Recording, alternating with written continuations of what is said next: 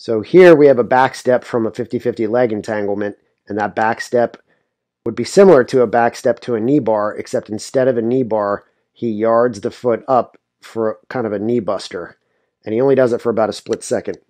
So the way the rest of this match goes, he doesn't hold that for very long. And in fact, the bottom man counters with his own technique pretty soon, but I excluded that from this just to show that this little moment here of the step over out of that 50 50 and the pulling back for a knee buster using both hands on the outside blade of the foot for his grip, that is a submission that I get in adversarial grapples all the time. And I try to only do it with advanced players or players who know that their knee is in danger there. But that submission 100% works. It 100% works. It's super dangerous.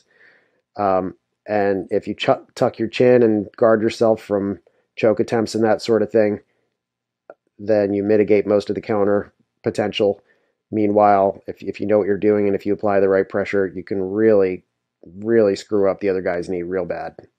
Um, and to a lesser extent, if you change your, your own figure four feet grip at the bottom, you can turn that into something with pressure that has more in common with a modern toe hold. But just the knee buster all on its own is 100% doable, real, dangerous, threatening. And it's weird to me that more people don't understand that it's a thing. But um, it is one of those jiu-jitsu blind spots.